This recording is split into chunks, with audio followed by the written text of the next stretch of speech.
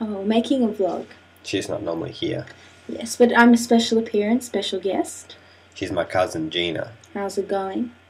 And um, this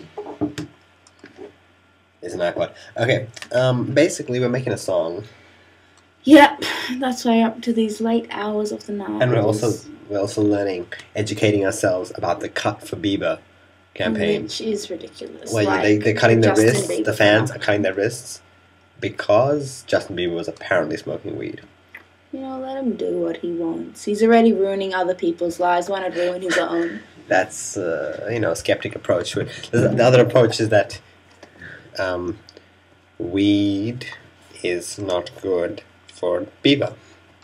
Weed is greed. Sorry, still in rap mode. Yeah, weed is greed. We're not related.